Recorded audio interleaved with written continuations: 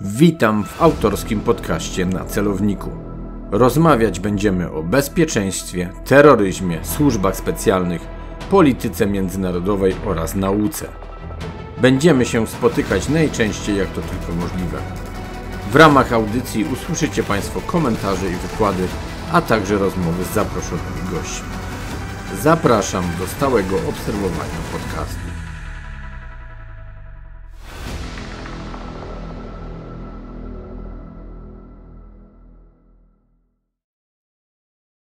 Artur Dubiel na celowniku oraz Piotr Herman, czyli szpiegul.pl oraz podcast Okiem Służb Specjalnych, OSS, Okiem Służb Specjalnych oczywiście. Witamy ponownie. Witamy serdecznie w cyklu i teraz mam do Ciebie pytanie, Artur, jak ten cykl się nazywa? Też to chciałem poruszyć na początku. Siedzisz chyba w moich myślach. Smutni panowie dwaj, czasem Piotr mówił smutnych panów dwóch a tak naprawdę nie smutnych, ale smutnych. Także witamy w SPD, w cyklu na tak. celowniku Artura Dubiela. Tak, witamy Was serdecznie. Oczywiście dzisiaj gospodarzy dwóch, także dwóch. nikt nie jest gościem. Wracamy do cyklu, który trochę, może nie, że zaniedbaliśmy, ale niestety terminy nam nie współgrały, ale obiecaliśmy sobie, że staniemy na uszach i jednak pociągniemy tematy. Zwłaszcza, że jeden Piotr temat mieliśmy taki zaległy, który chcieliśmy mocno poruszyć. Zdecydowanie tak. Był. Zresztą nie jeden, szczerze mówiąc, bo Aha, tych tematów prawda. jest wiele, których chcielibyśmy poruszyć, ale poruszymy po kolei wszystkie. Tak, gospodarzem e, tematycznym spotkania mają być dzisiaj operacje informacyjne, operacje psychologiczne, przy czym znając nas i tak naprawdę gdzieś spontaniczną formę nagrań nie tylko z Piotrem, ale zwłaszcza z Piotrem, no to czasem odbiegamy z tematyką, ale chcemy na pewno wyjść od tego zagadnienia. Może na sam początek, że ja nie wiem, nie, nie wiem jak nam wyjdzie rozmowa i, i czy tam trochę tej teorii wpadnie, czy nie wpadnie, to ja bym zaprosił do, do właśnie OSS-a, Okiem Służb Specjalnych, bo tam ostatnimi czasy właśnie popełniłem sporo, nawet wcześniej tam o dezinformacji, o decepcji i ostatni odcinek OSS-a, o, tam nazywa się Oszustwo, ja, ja tam właśnie poruszyłem kwestie operacji informacyjnych, kwestie operacji psychologicznych i właśnie mm, o decepcji sporo, żeby, żeby wyjaśnić. Więc jeżeli ktoś czegoś nie będzie rozumiał, ja tam chętnie bardzo zapraszam. To taka autoreklama. A nie, dlaczego? Podcast y, partnerski. O, dobra partnerski nazwa. Partnerski zdecydowanie, bo to, tak. bo to za darmo, to nie jest na zarabianie. Nie, nie, zdecydowanie. E, mówiąc całkowicie poważnie, postaramy się, aby rozmowa była zrozumiała dla jak największej rzeszy osób. Przy czym no pewnie momentami będziemy trochę głębiej wchodzić, postaramy się zainteresować różne osoby o różnym poziomie wiedzy w tym temacie. Tylko tak naprawdę, Piotr, żeby zacząć w ogóle o tym rozmawiać, to właściwie trzeba by chyba zacząć od tego, czym właściwie sama informacja jest, tak? Bo ostatnio czytałem taki artykuł, że informacja zabija. Informacja zabija, jak się wie, czym jest informacja, i jest coś takiego jak broń informacyjna. No ale organizacja też zabija, bo jest coś takiego jak broń organizacyjna.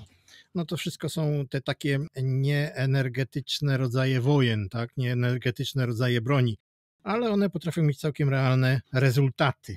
Przy czym tak naprawdę, bo o dwóch typach operacji chcemy powiedzieć, tak wspominałem, operacje psychologiczne, operacje informacyjne. Właściwie obie i tak właśnie punktem wyjścia dla nich to jednak jest informacja. Punktem wyjścia jest informacja i narzędziem jest informacja. Narzędziem i sposobem walki tak naprawdę też. Wszystkim. No, no właśnie, no właśnie to się wszystko opiera, czyli wszystko opiera się na danych, tak? Bo informacja to są te dane, które są przeanalizowane, czyli w odpowiedni sposób ocenione, w odpowiedni sposób umieszczone w kontekście, w odpowiedni sposób sporządzone i w odpowiedni sposób użyte wtedy, kiedy trzeba, wobec tego, kogo trzeba. Także tam jest sporo warunków takich brzegowych, które muszą być spełnione, żebyśmy mieli do czynienia z bronią informacyjną, prawda? Tylko też musimy podkreślić to, że niestety w dyskursie publicznym, w mediach, niestety te pojęcia bardzo mocno są spłaszczane, stosowane zamiennie. Ewidentnie nie do końca wiemy o co chodzi, więc trzeba by tak naprawdę zacząć od tego, czym te informacje są, kto je de facto prowadzi no i co ważne, kto jest tak naprawdę ich celem, bo tutaj to też jest ważne, aby móc je rozróżnić i się zastanowić, dlaczego takie, a nie inne działanie. Zgadzasz się ze mną? No, zgadzam się, zgadzam się zdecydowanie. E, sposobów rozumienia, czym informacje są, jest bardzo wiele. dlatego że jednym słowem informacja określamy bardzo różne rodzaje tejże informacji, prawda? Bo są te informacje, które służą nam podejmowaniu decyzji, rozumieniu świata i tak dalej, i są te informacje, które one są również informacją, tyle że one są wykorzystywane przeciwko nam, czy w zakresie operacji dezinformacyjnych, gdzie one są, tak jak mówiliśmy, jako broń masowa wykorzystywane przeciwko społeczeństwu danemu, które jest atakowane, albo mają charakter decepcji i one są wykorzystywane przeciwko konkretnym osobom, decyduj, przeciwko konkretnym decydentom za pośrednictwem określonych kanałów, jak na przykład służb specjalnych, wojsk i tak dalej. I teraz coś, co też ma znaczenie, to, to to, że dezinformacja jest zazwyczaj używana w ramach operacji informacyjnych, a decepcja jest używana w ramach operacji psychologicznych. No to to, to się aż robi, mm, no, że tak powiem, taka wielka wiedza i nie wiem, czy, czy, czy się na tym skupiać, bo jak zaczniemy to bardzo rozwalać na atomy, to może się okazać, że wiele czasu zajmie nam wyjaśnianie jakichś niuansów, podczas gdy chyba lepiej byłoby się skupić na efektach, na tym, jak to działa, co się dzieje. Myślę, że, że o wiele bardziej w takim znaczeniu ludziom jest to potrzebne. Ale na pewno musimy rozróżnić oba typy tych operacji. Dwa, w sposób uproszczony, cele tak naprawdę też, bo mówimy o tym i bardzo często y, wręcz się mówi, że celem czy ofiarą właściwie, nie tyle celem, właśnie ofiarą, są społeczeństwa. Ofiarą jest prawda. Zawsze. Tak, tak. No, a wiemy, jakie są też rodzaje prawdy, tak trochę sobie żartując. Przy czym no musimy właśnie pamiętać, że celem czy ofiarą będą też te środki decyzyjne. I tutaj już nam się robi jakby pierwszy taki parametr, który pozwoli nam podzielić i rozróżnić te dwa typy operacji. One są skierowane na inne sfery. Bo ja już powiedziałem, że tutaj mamy operacje, nawet powiedziałem, to też zwracam uwagę, że my mówimy o operacjach, nie o wojnach informacyjnych i wojnach psychologicznych. To też jest odrębna kwestia. Ale mówimy o operacjach informacyjnych i psychologicznych i są inne sfery. Celem w ogóle wojny informacyjnej, a także każdej operacji informacyjnej później w ramach takich wojen jest osiągnięcie dominacji informacyjnej na danym terenie, wśród danych społeczeństw, wśród tych grup, na które jest to skierowane. I teraz ta dominacja ma na celu uniemożliwienie tej zaatakowanej strony pełnego wykorzystania całej przestrzeni informacyjnej, którą, w której funkcjonuje dana grupa, społeczeństwo i tak dalej. A w przypadku wojny psychologicznej, w przypadku operacji psychologicznych, chodzi o takie oddziaływanie na ludzi, na konkretnych ludzi, aby doprowadzić do zmian cech psychicznych, które one mają. Oni mają, przepraszam, ci ludzie, ci decydenci. To chodzi o poglądy, opinie, wartości, no nie wiem, nastroje, motywy, postawy, stereotypy i tak dalej, i tak dalej, zachowań w końcu. I to wszystko w takim kierunku, który atakujący pożąda, który chce. I to ma prowadzić do zmiany zarówno norm grupowych, nastrojów masowych, świadomości społecznej w ogóle, ale tak naprawdę nie wiem, czy powiedziałem to jasno. To chodzi zupełnie inaczej się atakuje, inne sfery. Tu atakujemy taki umysł zbiorowy, a tutaj umysł indywidualny. To jest ciągle to samo. Tylko Piotr, drążyłem specjalnie celowo y, z tego powodu, abyśmy, że tak powiem, mieli pewność, że wszyscy doskonale nas y, zrozumieją, bo w pewnym dużym skrócie myślowym operacje informacyjne będą nastawione bardziej na społeczeństwa, operacje psychologiczne będą nastawione właśnie na te podmioty decyzyjne, nieważne tak naprawdę jak one są duże i w jakim, w jakim sektorze funkcjonowania państwa będą. Idąc za chwilę za tym, też y, pewnie dojdziemy do tego, kto w takim razie te operacje też prowadzi. Ale czy z tym moim skrótem w pewien sposób się zgadzasz, czy pewne kwestie widzisz tak, tak, inaczej? Tak, tak, tak. Zdecydowanie właśnie o to chodzi. Ja widzę, że my w naszych poszczególnych y, spotkaniach tak próbujemy to doprecyzować, na czym to polega. Y, to, mm, co tak ci się strasznie spodobało poprzednio, jak rozmawialiśmy, że to jest broń masowa, a to jest taka specjalistyczna broń indywidualna. No to właśnie o to chodzi. No chyba, że chyba lepiej się nie da tego wyjaśnić. I teraz zwróćcie Państwo uwagę, bo bardzo często, tak jak wspominałem, niestety te pojęcia są stosowane zamiennie, a patrząc na to, kto ofiarą właśnie danego działania ma być, jesteśmy w stanie, i to nie chodzi tak naprawdę tylko i wyłącznie o definicję, bo za chwilę okaże się, że chodzi tak naprawdę też i sposób działania, i stosowane narzędzia bo powiedzieliśmy owszem, że narzędziem jest informacja, ale odpowiednia praca na niej też będzie jakby charakteryzować daną czynność. No tak, tak. Zdecydowanie właśnie o to chodzi, dlatego że ten problem z niezrozumieniem tego, on wynika z tego, że za każdym razem, czy stosujemy dezinform- czy jest stosowana dezinformacja, czy to jest decepcja, czy jakiekolwiek tak naprawdę inne mm, metody, które polegają na, na mm, stosowaniu broni informacyjnej, atakuje się systemy informacyjne. I dlatego ludziom się wydaje, że to jest to samo, a to nie jest właśnie to samo. I co ciekawe, istnieje też pewien podział, bym powiedział, bo Często zresztą stosujemy takie podziały, że coś jest y, wojskowe, mundurowe, też w pewnym skrócie nie do końca dobrze rozumianym zawsze, a, a ten świat cywilny i teraz, no jakby nie patrzeć, to tymi operacjami informacyjnymi to jednak te podmioty cywilne się zajmują, a tymi psychologicznymi już wojskowe. Oczywiście w różnych państwach będzie to też różnie wyglądało, bo często te operacje będą w pewien sposób łączone i myślę, że to jest też ich przyszłość tak naprawdę, ale to dzięki temu też będziemy rozumieli tak naprawdę o co przeciwnikowi chodzi, do czego zmierza. No, no to zgadza się, zgadza się. No i jeszcze, jeszcze powiem Ci, że niezależnie od zamiarów przeciwnika, trzeba jeszcze pamiętać, że coś, co miało być w założeniu decepcją, może stać się nagle dezinformacją i, i w drugim coś, co miało być bronią dezinformacyjną, dezinformacją staje się decepcją, bo skutek jest inny od zakładanego. I to też zwiększa jakiś taki chaos definicyjny, chaos w zrozumieniu tego. Poza tym sama de decepcja. Decepcja, powiedzieliśmy, uderza bezpośrednio do decydentów, prawda? Ale prawda jest taka, że decepcja ma trzy rodzaje celów. Co do zasady jest to ten indywidualny decydent bądź, gru bądź grupa, tak? Ale przecież w zależności od tego, jakiego typu jest dana operacja, to przeciwna służba specjalna może to być, zwykle wywiadowcza to będzie jakaś, i tak powiedziałeś, że wojskowa. Zwykle tak, ale też nie zawsze.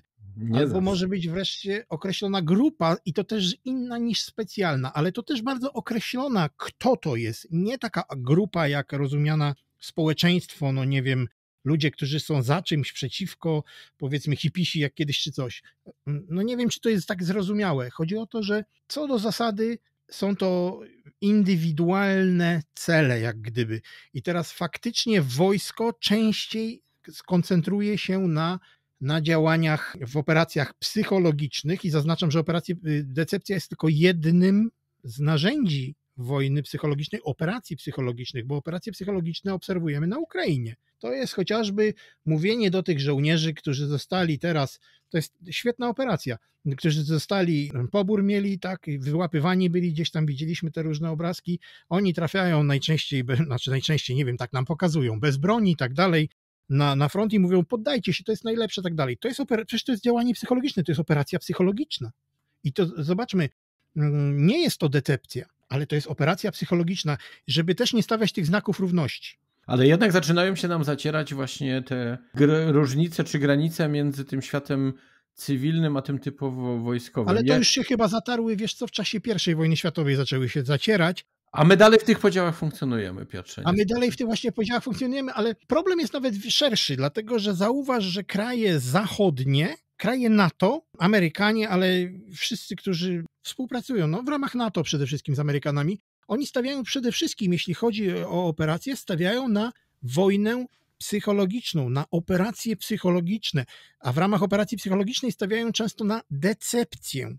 A z kolei wschód, czyli Rosja, czyli tak naprawdę, jakbyśmy zobaczyli, chociaż Chiny nieco inaczej już wyglądają, ale, ale też Azja ogólnie, stawiają bardziej na dezinformację. Jak zobaczymy, jak to wygląda, to Rosja ma bardzo rozpracowane, bardzo opracowane sposoby prowadzenia dezinformacji, ma to bardzo teoretycznie rozbudowane. Na Zachodzie tego nie ma, ale na Zachodzie rozbudowane jest bardzo właśnie wszystko związane z decepcją i z operacjami psychologicznymi, czyli operacje informacyjne, bym powiedział, bardziej są domeną wschodu, a operacje psychologiczne są bardziej domeną zachodu. Też nie należy tego jako jakiś aksjomat traktować, ale tak co do, co do zasady się zrobiło. Ale zobacz też Mówię po literaturze. Rzecz, tak, ale to, to jedną rzecz też muszę y, gdzieś zauważyć i, i tutaj wtrącić. Jednak te operacje są takimi działaniami, które polegają jakby nie na bezpośrednim kontakcie, w dużym skrócie myślowym i trochę w cudzysłowie, fizycznym. A Rosjanie, stosując właśnie też te operacje informacyjne, będą się wspierać na działaniach wykraczających poza ten zakres, mówimy tutaj innymi o agentach wpływu i tak dalej, i tak jako pewnego rodzaju, no może to też nie jest najlepsze słowo, uzupełnieniu tego, ale jednak docieraniu do ośrodków tych decyzyjnych w inny sposób i w inny sposób, znowu w cudzysłowie, je motywując. Czy to szantażując, czy opłacając, czy Aha, no tak, tak, tak, sposób, no, bo, tak? no bo w inny sposób chcą, chcą dotrzeć, tak? Tutaj chcą poprzez społeczeństwo dotrzeć, a tutaj chcą poprzez, przez, nazwijmy to ogólnie, zafałszowanie y, obrazu dotrzeć do decydentów bezpośrednio, tak? Czyli w przypadku tych takich, jakby chcieli do, metodą decepcyjną, to tutaj chodzi po prostu albo o wprowadzenie w błąd, albo o zwiększenie niejednoznaczności rozumienia czegoś. A w przypadku dezinformacyjnych, tu chodzi o to, że się wpływamy na społeczeństwo i to społeczeństwo wpływa na szeroko rozumiane władze. Tak? O to chodzi? Myślę, że tak, bo tutaj motywacja zawsze oddziaływania na innego człowieka, inaczej, motywacja tego człowieka, na którego oddziaływujemy, no oczywiście, jak będziemy go w pewien sposób rozpracowywać, czy tworzyć jego profil psychologiczny, to dla nas będzie ważne, jakimi, mm. nazwijmy to, argumentami do niego dotrzemy. One też są dla nas bardzo ważne, bo wiemy, na ile też mu możemy zaufać i, i na ile. Wiesz, co wpadła mi teraz taka myśl do głowy, tak. bo to też tego nie powiedzieliśmy nigdy. Dlaczego jest tak, że operacje informacyjne różnego rodzaju to jest jednak domena służb cywilnych, a operacje psychologiczne służb wojskowych. Zauważ, obie, obie są związane z wojną, tą taką realną, energetyczną, ze starciami wojsk. Mhm. Natomiast obie do tego prowadzą. One nie są prowadzone w zastępstwie, one przygotowują, one są prowadzone równolegle. I właśnie, operacje informacyjne są prowadzone równolegle, ale przede wszystkim one są prowadzone, kiedy nie ma jeszcze starcia energetycznego. Natomiast operacje psychologiczne jak chociażby decepcja, bo decepcją jest na przykład robienie całych batalionów, czy, czy no, no nie wiem, wojsk, które nie istnieją, dmuchanych czołgów i tak dalej. Takie oszustwo, bo decepcja to jest oszustwo. One się dzieją często już w trakcie konfliktów energetycznych zbrojnych. I dlatego to też jest domeną wojska. Dlatego, że to się dzieje już bardzo ściśle związane z konfliktem zbrojnym. A operacja informacyjna to jest to, co dzieje się zanim konflikt nastąpi, i konflikt wcale nie musi nastąpić. Tak, zgodzę się, tylko jedno drugiego też właśnie dokładnie nie musi, nie musi wykluczać. I, i ja, ja mam pewnego rodzaju jakby wątpliwość czy obawę, że jeżeli bardzo mocno rozdzielamy ten świat cywilny od wojskowego i za duża, za gruba jest ta kreska pomiędzy nimi, to zaczynamy mieć problem no, z pewnego rodzaju koordynacją działań to już są zupełnie odrębne kwestie, ponieważ ja tutaj bardziej mówię o kwestiach takich teoretycznych, ale teorię wysnutą na praktyce, bo teraz musielibyśmy zobaczyć, jak to wygląda, jak to realizuje konkretne państwo, konkretne służby, w konkretny sposób opisywać to. To wszystko oczywiście da się zrobić i nie ma problemu. I okaże się, że każdy inaczej realizuje. Zresztą same już mówiłem, te takie szkoły, czyli metody postępowania, cele i tak dalej są y, na podstawie tych różnych szkół, które istnieją, y, są różne, tak? Inaczej robią to Amerykanie, inaczej Brytyjczycy, inaczej Rosjanie i tak dalej, Francuzi jeszcze inaczej. Niemniej to wszystko jakby wchodząc w ten element, a właściwie poziom, bo tu mówimy de facto o poziomie operacyjnym, pewnej koordynacji i nie tylko wymiany informacji, ale i koordynacji, podejmowania pewnych decyzji i wychodząc też wyżej, no to tak naprawdę właśnie wchodzimy wątek i poziomów, i skoro poziomów, to i całego systemu.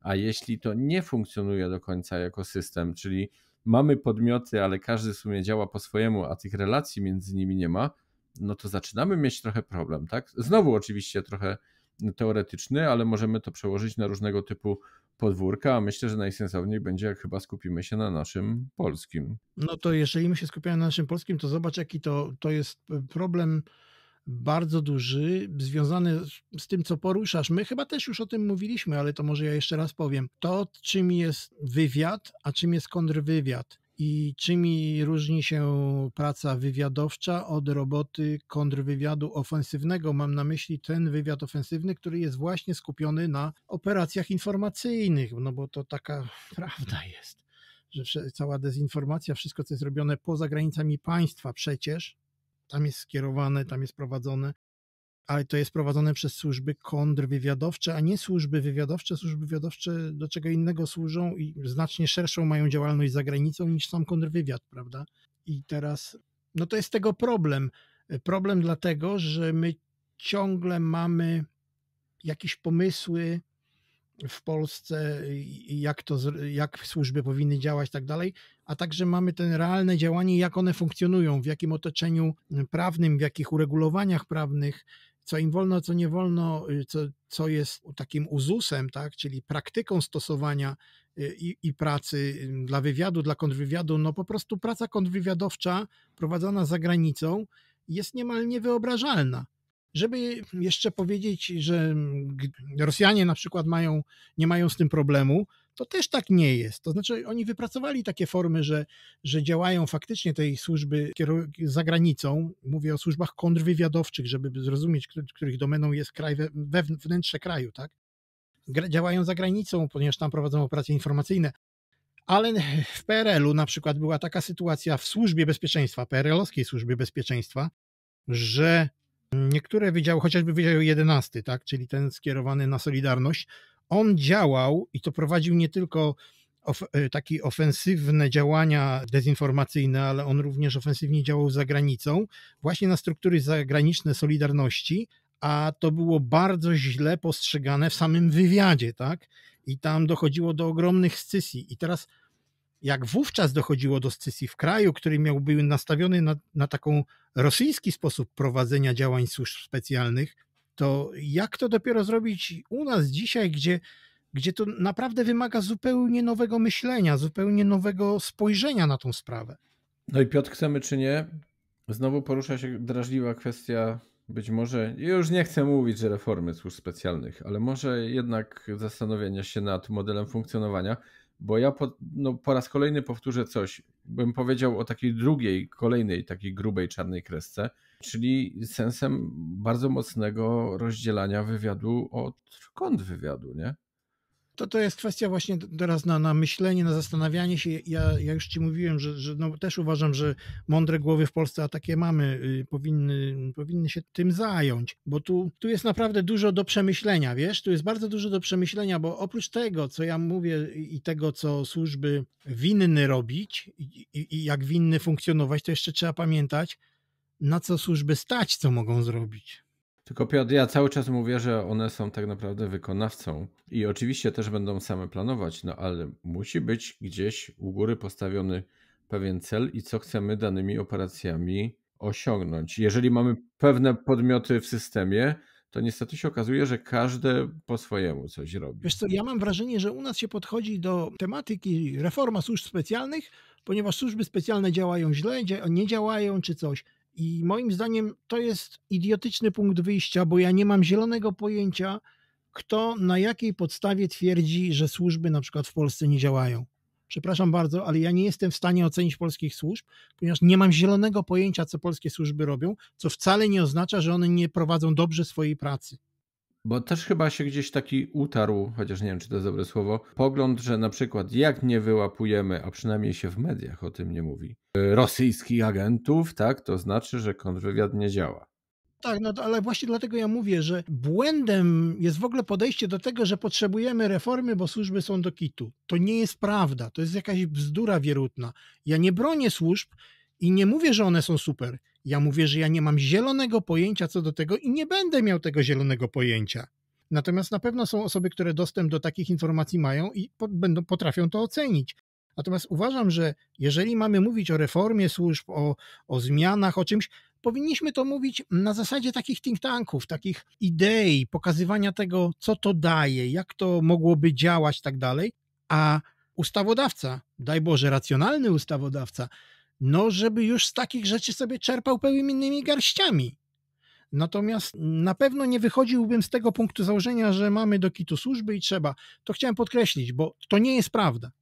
No myślę, że to się też Piotr wzięło niestety z tych, to też będzie pewien skrót myślowy, afer Pegasusowych i, i gdzieś pewnie tutaj dla niektórych może to było, przepraszam, punktem wyjścia, ale tak naprawdę może faktycznie powinno tutaj się mówić nie tyle o reformie, a pewnego rodzaju transformacji służb pod tym kątem, że przecież jednym z parametrów służb specjalnych jest to, że są to organizacje uczące się i dostosowujące się, tak? No bo muszą nadążać nad zmianami w świecie, nad rozwojem technologicznym itd., tak itd., tak bo to wszystko też przeciwko nam może zostać wykorzystane, a z drugiej strony to my będziemy chcieli też przecież to wykorzystać, aby uzyskać przewagę na różnych tak naprawdę polach nad innymi graczami na arenie międzynarodowej i podkreślmy też jedną rzecz, to nie jest tak, że ktoś jest naszym sojusznikiem, to my względem niego niczego nie prowadzimy i że mamy się spodziewać tego samego, że on też wobec nas niczego nie robi. Tak, tak, ale to wszystko, żeby o tym wiedzieć, to trzeba wiedzieć, wyjść od samego punktu wyjścia, od samego początku, czyli od tego,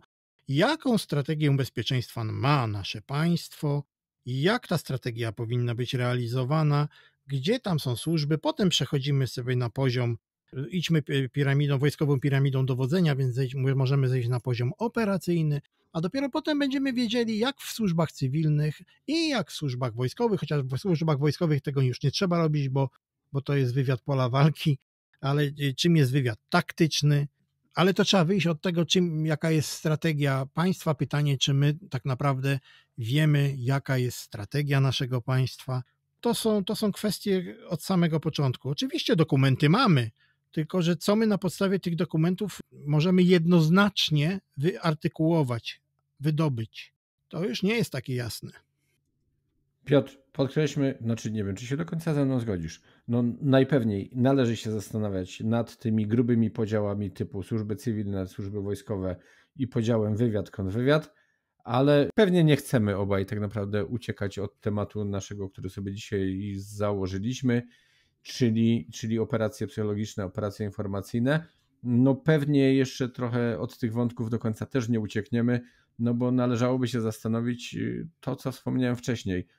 Nie może też każda służba robić coś dla siebie, bo cel musi być wyższy, większy, zwłaszcza w momencie kryzysu, konfliktu, mhm. już nie mówiąc wojny. No to będą zadania. Zresztą przykład Ukrainy idealnie to pokazuje. Ukraina moim zdaniem też bardzo dobrze prowadzi te działania no, że jednak one, no nie można ich lekceważyć patrząc na, na współczesne konflikty, współczesne konfrontacje.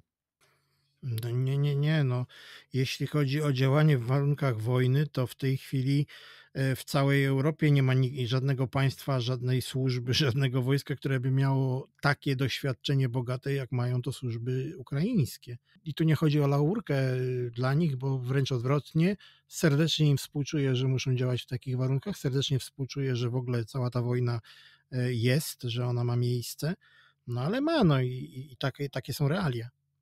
To, co kiedyś chyba wspominałem zresztą, że Putin i jego otoczenie najpewniej przegapiły trochę niecałą dekadę ostatnią, bo armii ukraińskiej udało się w pewien sposób nie tyle odbudować, co przebudować. Oczywiście w ramach też współpracy z Zachodem. I taki mam wniosek, że służby specjalne chyba podobną ścieżką idą i ten, ta wojna się kiedyś zakończy, tak? I myślę, że pod tym kątem to państwo ukraińskie będzie pod kątem służb specjalnych będzie silnym państwem? Nie wiem. Nie wiem, nie jestem w stanie tego powiedzieć. Nie wiem. Wiem, że bardzo, w bardzo krótkim czasie można stracić bardzo możliwości, które się posiada, jeżeli się e, w nieodpowiedni sposób postępuje. Być może będą bardzo silne, a to, to jest gdybanie. Nie mam, nie mam zielonego pojęcia. Nie wiem, po prostu nie wiem. To, to, to są, to są na, na dzień dzisiejszy są to rzeczy zbyt odległe, żeby nawet gdybać. Już nie mówię o prognozowaniu, ja mówię o gdybaniu. Zbyt odległe. Y, służby ukraińskie są, ponieważ to jest wojna, są zawalone robotą. To w ogóle trzeba zdawać sobie z tego sprawę. I to nie jest tak, że one teraz się szlifują i będą idealne i w ogóle. Praca w, działan- y, praca w warunkach wojny, a praca w warunkach pokoju to są dwa zupełnie różne sposoby działania. Kompletnie do siebie nieprzystające. W ogóle. Y, chociażby pokażę to na takim przykładzie. Wyobraźmy sobie, że prowadzilibyśmy działania jako służba specjalna w warunkach wojny, tak jak się prowadzi je w czasie pokoju. Gdzie byśmy przytrzymywali te archiwa? Archiwa zawsze są, ale archiwa muszą być jak najmniejsze.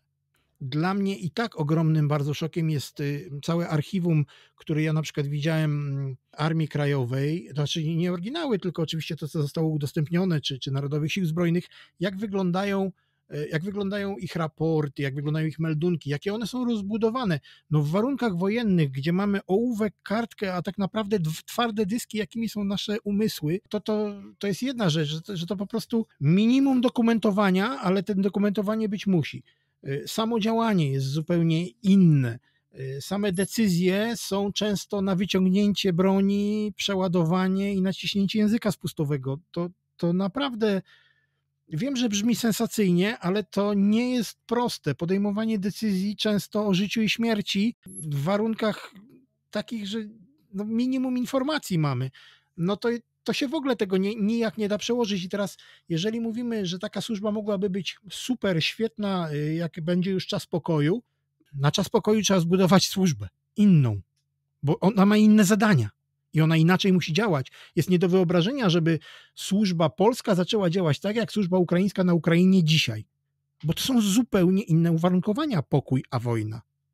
Nie, jestem też, y, może nie, też nie doprecyzowałem i bardzo się cieszę, że o tym powiedziałeś, ale też jestem, co muszę zaznaczyć, przeciwnikiem wszelkiej maści kalek. Możemy oczywiście jak najbardziej podpatrywać, jak robią pewne rzeczy inni, ale nie można tego jeden do jeden przenosić na, na własne podwórko, bo to trzeba dostosowywać. I też muszę powiedzieć, że bardzo się cieszę, że, że podałeś takie przykłady, bo do niektórych najpewniej takie rzeczy najbardziej docierają i chciałem Cię o to poprosić, więc dziękuję, że zdążyłeś ponownie wyprzedzić moje myśli. Ależ proszę.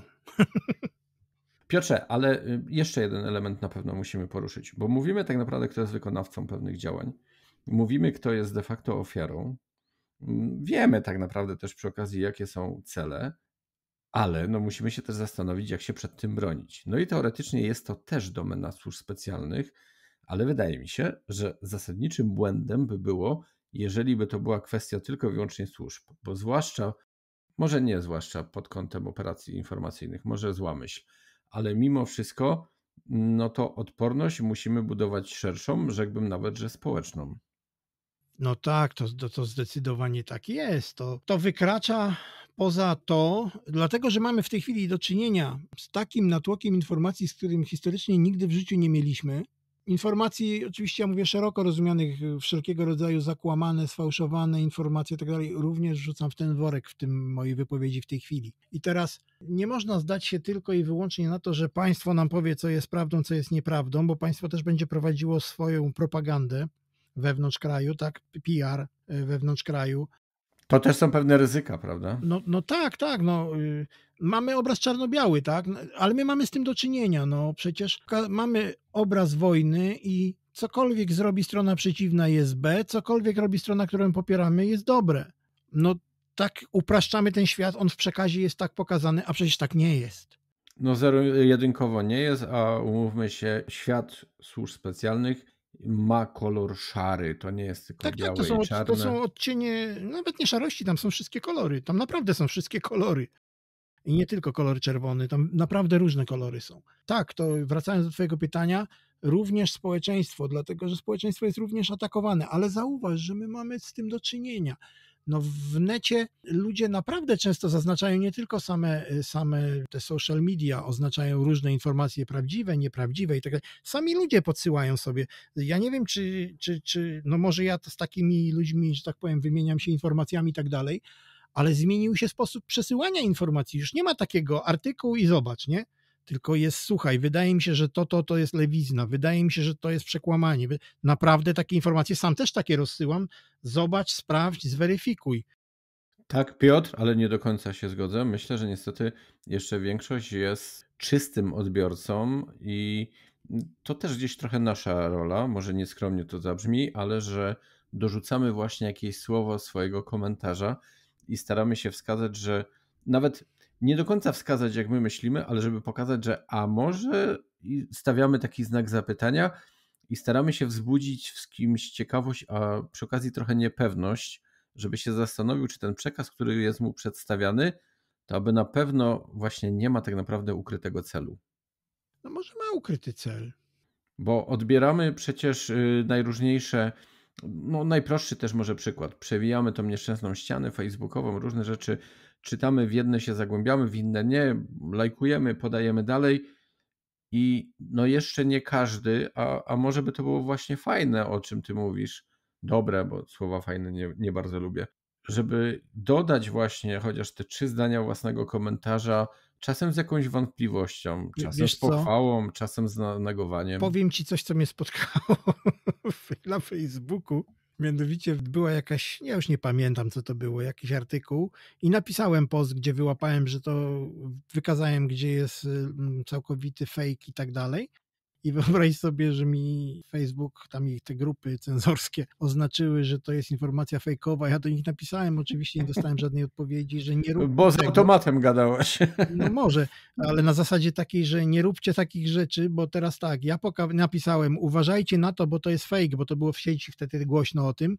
Wyjaśniłem, co jest tym fejkiem, a oni mi oznaczyli, że mój post jest fejkiem. Co wyszło na to, że jak ktoś mógł czytać, mówi, aha, czyli to, co ja napisałem jest fejkiem, bo to, co pokazuję jako załącznik jest prawdą.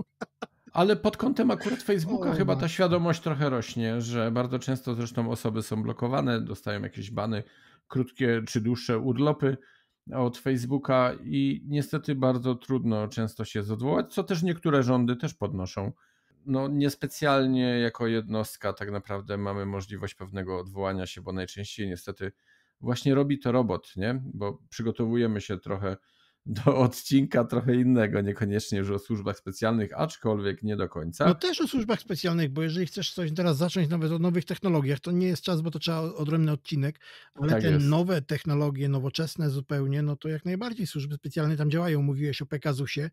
Sam zobacz, że ja, dobra, wiemy czym Pegasus jest w znaczeniu, co potrafi zrobić, ale my nie wiemy na przykład prawnie czym to jest. No nie mamy zielonego pojęcia. Ja nie wiem jak to jest, bo to jest tak, nie wyobrażam sobie, żeby w służbach zasada na przykład praworządności, legalności nie była zachowana w momencie zastosowania Pegasusa, więc uważam, że od strony formalnej tam naprawdę wszystko było ok. Tylko pytanie, jak to mogło być ok, jeżeli prawnie tak naprawdę nie mamy zdefiniowanego tego, czym ten Pegasus jest, bo to jest narzędzie hakerskie jednak.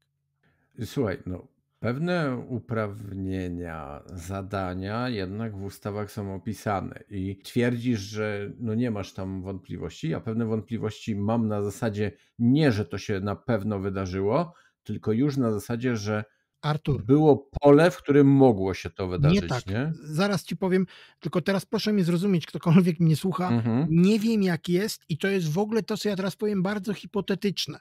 Nie wiem, jak Pegasus jest traktowany pod kątem prawnym. Jeżeli on, załóżmy, to jest hipoteza, jest traktowany jako kontrola korespondencji tylko i wyłącznie, to są odpowiednia ścieżka na stosowanie na przykład kontroli korespondencji jest. Są przepisy na kontrolę korespondencji.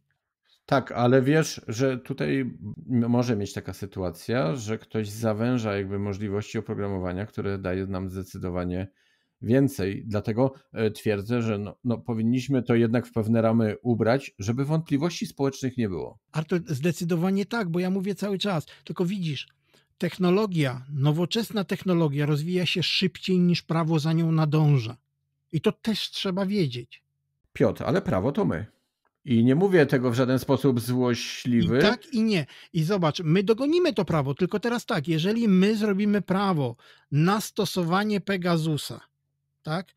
Nie nazwiemy tego, że chodzi o Pegasusa, tylko opiszemy go tak jak. Nie, to jest skrót myślowy, tylko tak, tak, ale chodzi mi o to, opiszemy, że to coś, co on robi, nazwiemy to odpowiednio i że jest na to taka ścieżka. Tylko w momencie, kiedy będziemy wprowadzać to prawo, to już będą bardziej e, zaawansowane narzędzia, e, na podstawie których będziemy stosować przepisy nieaktualne znowuż. Rozumiesz, o co mi chodzi? Zawsze to się dzieje. To nie jest tak, że o matko i załamujmy ręce, tylko musimy sobie zdawać z tego sprawę. A to nie oznacza, że służby działają nielegalnie na Boga. Nie, nie, nie. Nie o to mi chodziło. Bardziej oczekiwałbym, że osoby, które te prawo będą tworzyć, albo inaczej, te, które będą pomagać w jego tworzeniu, będą w pewien sposób, nie chcę użyć słowa wizjonerami, ale jednak miały trochę klapki szerzej na oczach i potrafiły odpowiednio to ubrać, aby tak jak mówisz, przy okazji nowego, nazwijmy to wynalazku, nie trzeba było znowu całej ścieżki legislacyjnej. Ja oczywiście nam wszystkim tego życzę. Dlatego powtarzam, brakuje nam takich y, think tanków. Ten zespół parlamentarny, który jest, y, fajnie, że on jest. No, wiemy, że on tak działa trochę z boku, on się składa. Znaczy, on z punktu widzenia polityki w państwie jest taki mało istotny, nie? Żeby, no ale jest, super, że jest. Natomiast brakuje mi takich think tanków, które by zajmowały się, naukowców, którzy by się zajmowali.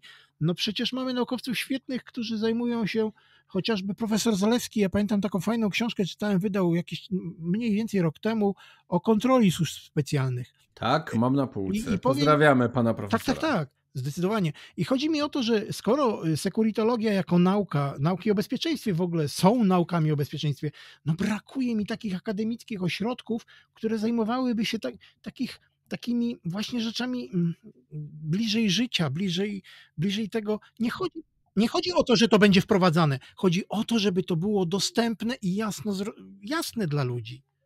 Zadam Piotr brutalne pytanie, albo zanim je zadam, ja pamiętam kiedyś profesor Aleksandrowicz też to podnosił, że zdrową sytuacją będzie, jeżeli społeczeństwo będzie rozumiało jakby świat funkcjonowania mhm. E, służb specjalnych. E, kiedyś terroryzm, antyterroryzm to też były takie zamknięte trochę dziedziny.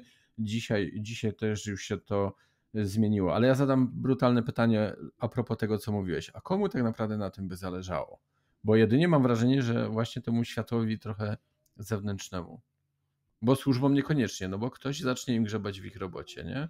Nie, to nie jest prawda. To nie jest prawda. Wiesz co, problemem służb, ja to powtarzam od lat, jest to, że służby zbyt wiele robią.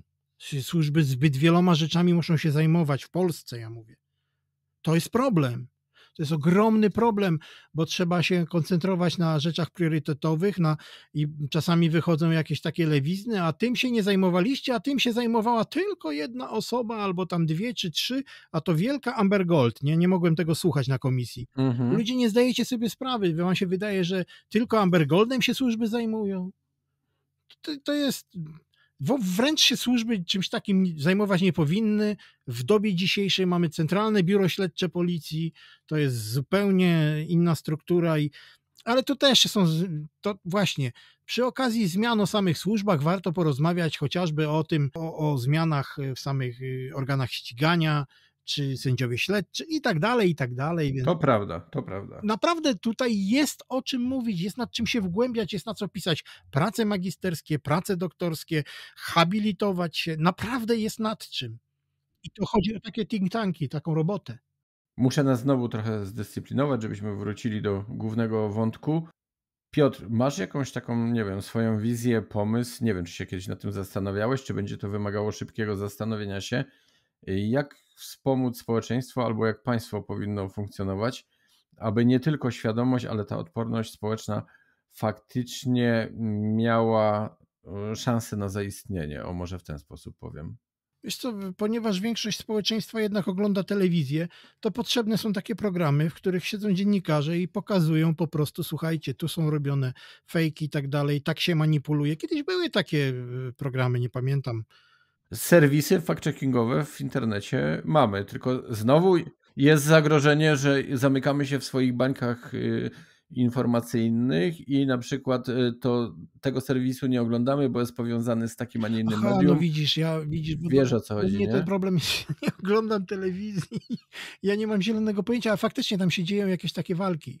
Nie tylko w telewizji, ogólnie w mediach. Aha, w to, mediach. to wiesz, to jest to jest ten problem właśnie, o który też może warto powiedzieć, o tych bańkach, tak? Pytasz się mnie o rzecz, co do której ja się nie zastanawiałem, ja tak na zimno rzuciłem, bo na pewno po prostu mhm. ludziom trzeba, to chodzi o zwykłą edukację, ludziom trzeba pokazać, tak jak, w, nie wiem czy się w szkole tego uczy, kiedyś mieliśmy tą wiedzę o społeczeństwie, ja pamiętam, zawsze zaczynaliśmy od przeglądu prasy, ja miałem za tak, tak. jeszcze, ale od przeglądu prasy i mimo wszystko od jakiegoś krytycznego rozumienia tego, co tam jest.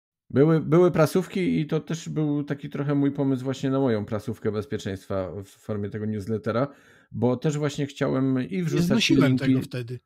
Y, wtedy tak, a dzisiaj myślę, że mm, była to gdzieś taka przemycana e, lekcja trochę logicznego i samodzielnego myślenia. E, no tak, tak, tak. I zauważ, że u mnie też się kącik szpiegula z tego wziął chyba. Mniej więcej podobnie momentami gdzieś, gdzieś myślimy i podobnie może diagnozujemy.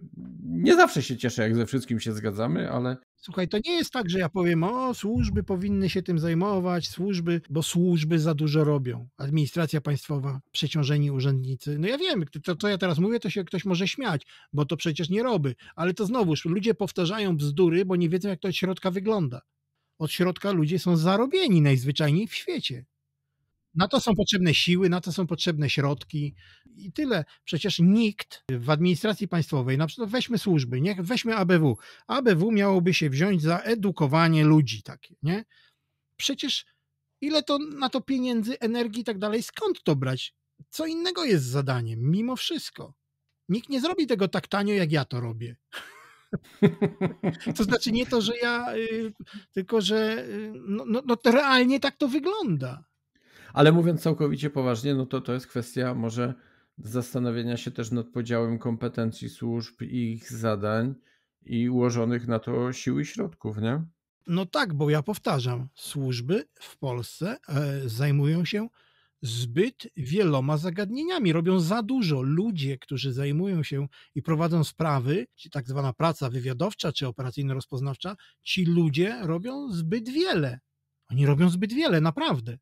Wracając do operacji informacyjnych, psychologicznych, zastanawiając się trochę nad ich przyszłością, myślisz, że ich kształt będzie w tym przysłowiowym jutrze trochę inny, czy to jest kwestia tylko powiedzmy kanałów, którymi, które będą wykorzystywane w trakcie prowadzenia takich operacji? Myślę, że to jest kwestia kanałów, kwestia narzędzi. Cały czas to chodzi o, nasz, o, o naszą percepcję, o strategiczne mhm. zarządzanie naszą percepcją, naszym postrzeganiem. Nasz umysł ludzki jest taki, jaki jest, i będzie się na niego wpływać tym, co znamy.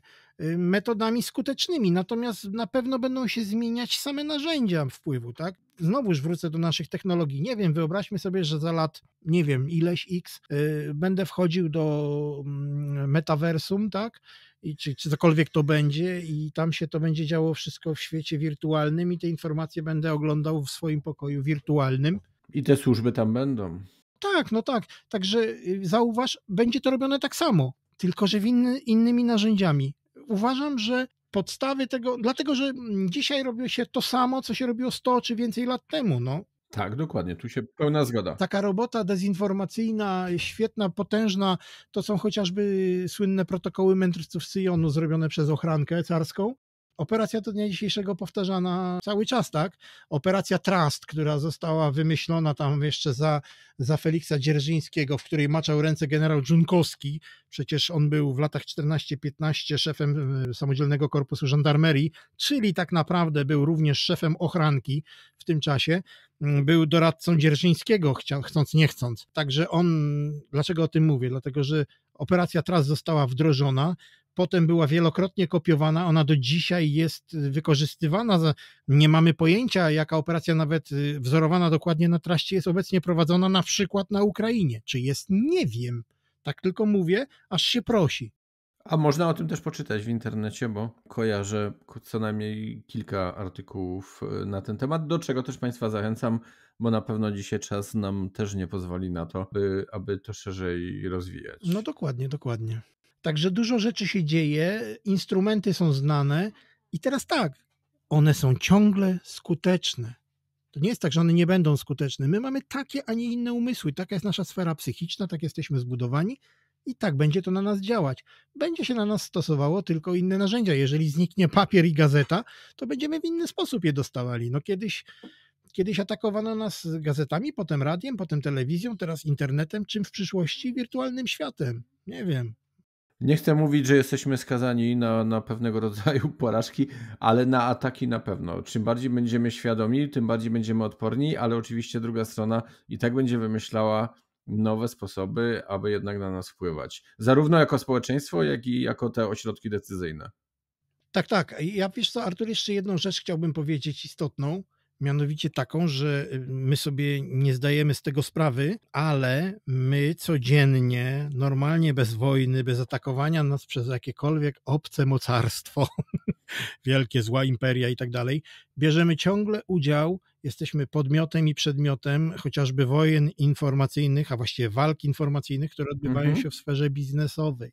W to sferze prawda. biznesowej jesteśmy atakowani reklamami, narzędziami public relation, jesteśmy atakowani różnego rodzaju etykietkami, tym, co jest na nich napisane, co jest prawdą, co jest nieprawdą, w jaki sposób gospodaruje się nasze umysły. Tam też mamy do czynienia z zarządzaniem percepcją. I o tym zapominamy, bo ty mówisz, że będziemy tam celami, ofiarami czy czymkolwiek innych y, działań dezinformacyjnych, ale działania dezinformacyjne, działania decepcyjne, wszelkiego rodzaju operacje informacyjne, operacje psychologiczne, one mają również miejsce w biznesie. Mm, firma przeciw firmie, koncern przeciwko koncernowi, a wszyscy przeciwko nam, klientom. Klienci też powtarzają tak w ten sam sposób różnego rodzaju fejki. Pani kochana, to działa, to nie działa, cudowny lek, nie cudowny lek, szczypawka, nie szczypawka i tak dalej, i tak dalej. Jesteśmy ciągle, ciągle na polu walki informacyjnej i psychologicznej. No, moglibyśmy się tak naprawdę też zastanawiać nad samym pojęciem chociażby stosunków międzynarodowych, bo to w pewien sposób sugeruje, że chodzi o, o te relacje między narodami, a de facto między państwami. I tam się wskazuje oczywiście, że to państwa są, są tymi podmiotami, ale no dzisiaj coraz większą rolę i nie wiem, czy momentami nie większą, a pewnie w przypadku niektórych państw na pewno, będą odgrywały właśnie te podmioty niepaństwowe i na przykład wspominane chociażby przez Ciebie dzisiaj metaversum, chociażby w wydaniu pewnej firmy na F od pana Marka, no też będzie bardzo często grała dużo większą rolę niż, rzekłbym nawet wprost, większość tych podmiotów typowo państwowych, a de facto wchodząc z nimi w pewne relacje, chociażby wspierając obywateli, no nawet i w przypadku takim jak ty zaznałeś, tak, że gdzieś tam oznaczono, że to niewłaściwy jest twój przekaz, akurat bana nie dostałeś, ale kiedy właśnie państwa czy rządy raczej, przepraszam, mm, próbują tych obywateli bronić, no w pewien sposób podnoszą same przez się status tego niepaństwowego podmiotu, który zaczyna odgrywać dość znaczącą rolę również w tych relacjach i nagle się okaże, że takie podmioty też bardzo mocno mogą nas zaatakować, często bardziej niż te podmioty państwowe. Tak, tak, tak, tak jest. Powiem ci w tej chwili, boję się odpowiedzieć, czy w jakiś sposób skontrować to, co powiedziałeś, czy uzupełnić, dlatego że weszlibyśmy chyba na, na taką ten temat, który to, to się też prosi o, o odrębną rozmowę. Ja to mówię o tym magiczna czwórka. Liczby nie wierzę, ale my chyba żyjemy w jakiejś czwartej epoce, dlatego że to, o czym ty opowiadasz teraz, te możliwości, to jest te futurologiczne, szwabowe, czwarta rewolucja przemysłowa, tak? Stąd ta magiczna czwórka. Tych czwórek jest znacznie, znacznie więcej, tak? Bo mamy globalizację, czwartą globalizację, mamy czwartą falę, tę falę, chyba że falę Kondratiewa byśmy mieli, czwartą rewolucję Szwaba. Jeśli chodzi o analitykę, mamy analitykę 1, 2, 3, 4, to jest najnowsza. Jeśli chodzi o marketing, mamy marketing 1, 2, 3, 4, a w tej chwili już się zarysowuje marketing 5.0, więc... W terroryzmie mamy cztery fale. No proszę bardzo. Także widzisz, y, nie chcę tego, nie chcę tego ruszyć, bo to takie, nawet taką, o takiej magicznej czwórce moglibyśmy sobie kiedyś porozmawiać, tak zupełnie na luźno, bo to nieszczególnie, że tak powiem, temat taki zupełnie super na serio i taki zupełnie super prawdziwy, dlatego że to są jednak futurologia często, czy futurystyka. Chodzi mi o futurologów. I teraz to, co ty mówisz, że koncerny mają wpływ, to to chociażby Szwab idzie dalej i gdzie, gdzie mówi o i, i ludzie z nim związani, gdzie mówi chociażby o to, że obywatelstwo państwowe zaniknie, a będziemy mieli obywatelstwo korporacyjne, tak? No jest w tym coś, ci powiem. No, no jest, ja nie mówię, że nie jest, bo to, to a weźmy, o, to flerów, tam też były cztery fale, tak? No tak, tak. Tych fal... Mam na półce Naprawdę, też. naprawdę y, to, co ja mówię, magiczna czwórka, no to, to, to jakoś tak w futurologii bardzo, ale futurologia to są jednak idee jakieś społeczne, nie? I wiele z nich ma przełożenie bezpośrednie na nasze życie, ponieważ e, chociażby marketing tak 4.0 czy 5.0, y, no to jest realizowane w stosunku do nas, tak? Ba, weź marketing 3.0, który, który jest odpowiednikiem tego, co nazywamy komunikowaniem strategicznym, no komunikowaniem, tak? Weźmy marketing 4.0 i ten marketing 4.0 to, to, to już będzie realizacja y, nie, nie, nie, 3.0, przepraszam, to jest komunikowanie strategiczne, a komunikacja strategiczna to już będzie 4.0, tak? Czyli ta różnica polegająca na tym, że 3.0 my tylko informujemy o produkcie, a 4.0 to już my jako klienci dzielimy się tym produktem. My chociażby tym słynnym na A od tego Steve'a Jobsa. Mhm. Tak, że między sobą, że tworzymy społeczność, albo że te klapki to są super, albo te stroje kąpielowe i w ogóle sobie wzajemnie polecamy, tak? Tu już mamy do czynienia z komunikacją strategiczną, ponieważ my z firmą tutaj jesteśmy ambasadorami ich marki, a 3.0 to jest innego.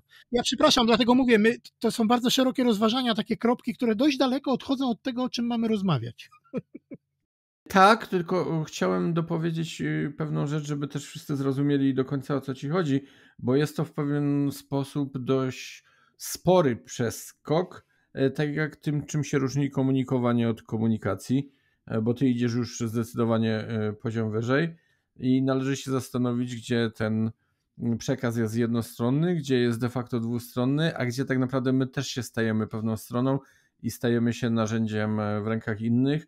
No i trochę chyba momentami szczelamy sobie samobuja, bo to przecież nie przylecieli kosmici i nie narzucają nam pewnych rzeczy, tylko też przecież często bierzemy w tym udział, również wykonując nasze obowiązki no służbowe, no bo jak to inaczej nazwać. To ty mówisz obowiązki, a ja mówię wykonując proste zakupy, to ty sobie nie zdajesz sprawy, że jesteś w tej chwili w ferworze jakiejś operacji informacyjnej, operacji psychologicznej i znajdujesz się akurat na ścieżce zakupowej. Y, bardziej mi chodziło, że bierzemy też w tym udział jako pracownicy. No tak, jako pracownicy od tej strony, ale wiesz co, to jest identycznie jak chociażby z dezinformacją, dlatego że dezinformacja jest kierowana do nas, a my potem te fejki przekazujemy dalej i bierzemy tak. udział w tej dezinformacji, tak? Czyli tak samo jak pracownik. Działam w ten sposób, a potem jestem odbiorcą i działam dokładnie tak samo, bo jestem odbiorcą tego czegoś. Ale bardzo fajne było to, co powiedziałeś teraz też, że no, będąc na tej ścieżce zakupowej, bardzo mi się podoba to sformułowanie, no też tak naprawdę w tym wszystkim bierzemy udział, niestety najczęściej nieświadome, nie?